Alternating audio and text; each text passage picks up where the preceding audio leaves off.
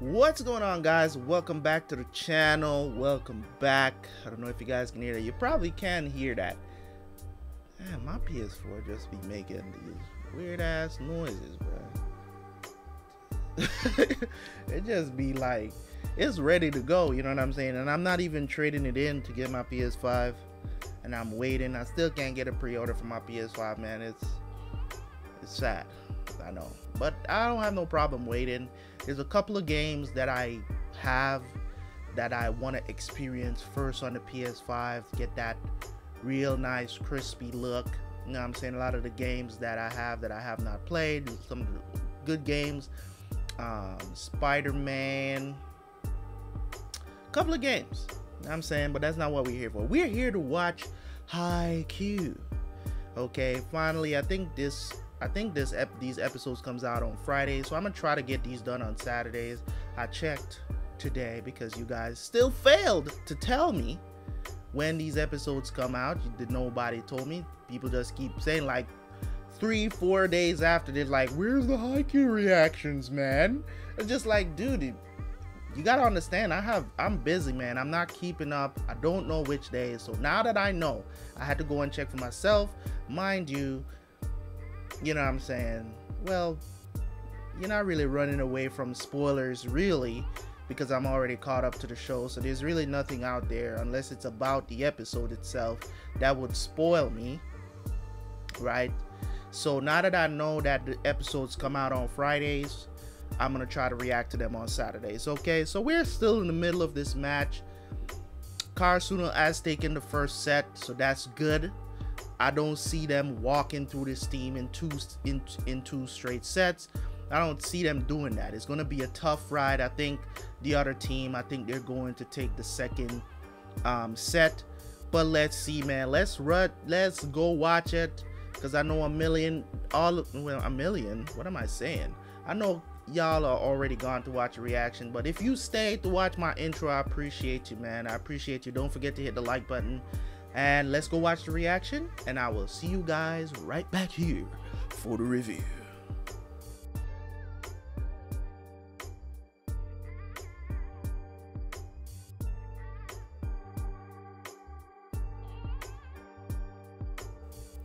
All right, season four, episode 17. I like it. I ain't gonna hold you up. I like the fact that they took an episode to concentrate on what Nekoma is doing. And I think I'm going to get what I was hoping for, which is the Nationals finals to be between Nekoma and Karasuno. Now, the build up to that got to be epic, of course. I know that is a match that you heard me say throughout my reactions that I really want to see this take place. And I think that's what the end game of this anime should be. That's just my opinion. I think that's the end game that they built this up from like I think it was like maybe like the really early in season 1 they've been building they built this rivalry and told us about this rivalry and they never got to play on a big stage. They never played each other on a big stage ever. They've always just done practice matches. So the battle at the garbage dump needs to happen at Nationals for me to be satisfied at the end of this anime. It just needs to happen, okay? We need to see these two teams. I think, you know, a complete and utter dis- utter devastating offense basic uh, against the real kind of defense in volleyball. Don't get me wrong. Date Tech is good, but they ain't no Nekoma. Let's just be honest. you know what I'm saying? They're not Nekoma because Nekoma they just keep the ball up they keep it keep it going. So they're they're really a hard team to go up against. You know. So I'm really hoping that we get to see that. But anyways, the match that they're in right now, these guys trying to break down their defense, trying to tire out um you know Kenma. They're trying to tire him out so that they can have the upper hand because if you tire out the brain the rest of the body can't function can't function properly. You know what I'm saying? Like if your brain is tired, all you want to do is sleep. You know what I mean? You can force yourself up, you know what I'm saying? Drink some coffee or whatever the situation. But at the end of at the end of the day, your brain is tired. You just want to rest. Period. So I don't know if they're gonna take him out, maybe give him a breather or whatever. But whatever they need to do to win this match, they need to do it. Um, so yeah, man. So they, they really did a good job, and you know, I've just been noticing since I've watched these four episodes now, since part two of season four started, the animation is just not it's just not what it used to be. And it's obvious that it the quality of it dropped. I don't know if i'm the only one that noticed. I'm pretty sure i'm not the only one. People are just enjoying the anime. And it's not that i'm not enjoying it. The animation is still fluid when they're playing you know but it's just the quality the crispy animation like very detailed animation that we used to have for Haikyuu. It's just not there you know and as i said i'm gonna blame it on covid because i know maybe they just can't they don't have the manpower to really get this done. And maybe the demand you know maybe the studio was like oh we need these episodes. You know you know it's not like america where people can just walk off jobs and be like you know what i'm saying and be like no crunching you know in video in video game studios they have crunch which everybody's like oh there shouldn't be any crunching and people always make this argument, and I'm like, what are you talking about? People work overtime all the time. It's not like they they're working for nothing. You know what I mean? Like these people make good money. They're not making you know, a lot of times the, the problems that I see America complain about. Sometimes I really have to wonder, like, why is that a complaint? Companies do this all the time. Don't get me wrong, it can go overboard. I get it. You know, you can overwork people. I know that. But when there's a project going on and there is a deadline, when there is a deadline for something to, to happen, it's all hands on deck. So I don't understand. I've never understood this crunch thing where everybody's in an uproar about crunch in gaming studios. And i'm like uh you get what i'm trying to say? Like it happens. It's something that happens. It happens. You get what i'm saying so if you know sometimes you do have to make last minute changes last minute fixes last minute bugs fixes for games and stuff like that and you're gonna need some extra man hours to get that done so you can meet the deadline. You understand? No gamer likes to hear, oh, we're delaying the game because of this and that.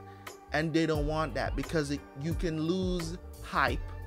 You can lose a lot of stuff about your game. You might not make as many sales for launch if people you keep pushing back the game because you don't want you don't have your workers doing overtime to get the job done, right? And I get it, man you know, people they're like, oh, people should only work eight hours in a day. Eight hours is a long time to work. Some of these people are not working eight hour shifts. You get what I'm saying? But they're complaining. You know what I mean? Like crunch is just a part of the work life. In my that's my opinion. I just feel like crunch is just a part of the work life, but I guess not. You know what I'm saying? Just just something else for people to complain about, I guess. That's how I'm looking at it. So it is what it is. But not to say that I'm encouraging, you know, companies to overwork their people. You know what I'm saying? But I think, I mean, you have doctors, you have nurses that work 12 hour shifts. You know what I'm saying? And they make good money. People in the gaming industry, you know what I'm saying? They make good money. You know what I'm saying? I'm not saying they're making millions you know, as workers, as you know, graphic designers and you know, coders and all of this stuff.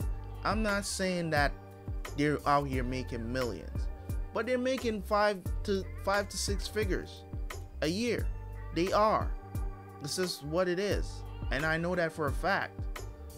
But you know, they don't want to. They don't. I guess you know, if, if you ask them to work a 12-hour shift, it's a big deal to me working a 12 hour shift is is not that big a deal it's just not because you know yeah some of these they're gonna be like oh some of these people they got kids and they gotta go home to their kids listen man listen man you want to achieve your goals you better get on that shit. Anyways, um, Haikyuu, man, very good stuff. And as I said, I, I can't blame the studio. I have to blame it on COVID because I think they they just don't have the manpower to really get out that dynamic animation that they used to give us. So you know they get a pass, right? But everything else still pretty good. They're still doing you know pretty good um, animation nonetheless. You know what I'm saying? It, it dropped from a 10 out of 10 animation down to probably like an 8 or a 7 so I wouldn't say it's a significant drop, but you know what I'm saying. But it, it it is what it is. I'm still enjoying it. It's still watchable. You know what I'm saying?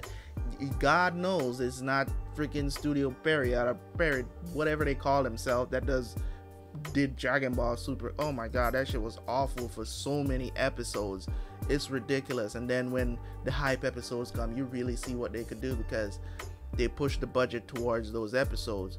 This is not the case for Haikyuu though, because I mean, four straight episodes with mediocre animation, it's you know what I'm saying. You can't you can't you can't necessarily blame that when they you compared to what they used to do. You know what I mean? So, but in any case, guys, that's all I have to say. Hopefully, Nekoma pulls through this match. Of course, the Saint you know, it, it is what it is. So we'll see how it goes. We'll see how it how they turn up to get this match um, done. I do believe that they're going to survive this match. If they're if they don't, I'm going to really be disappointed, to be honest, because they'll be out of national and they won't get to play Karasuno at all. I just want to see them play. I don't care if it's the finals. I just want to see them play. I think it would be a really good match and really good heightness for the anime itself. But any case, thank you guys so much. I appreciate y'all.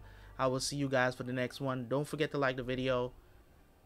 Don't forget to comment. It's your boy Terabyt Reacts, and I'm out. Peace.